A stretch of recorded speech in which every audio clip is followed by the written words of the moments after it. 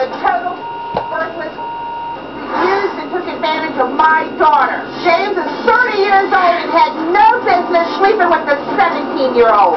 How dare James get Bonnie pregnant and then not take responsibility? That is all about to change.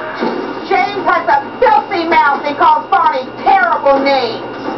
James, your days of making my daughter's life a living hell are over.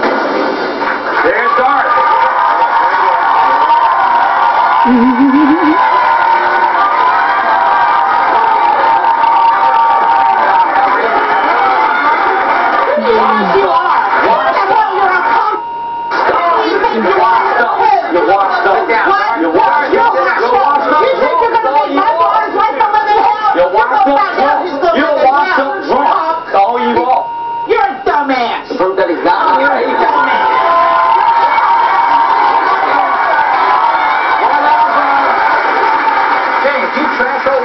Yes,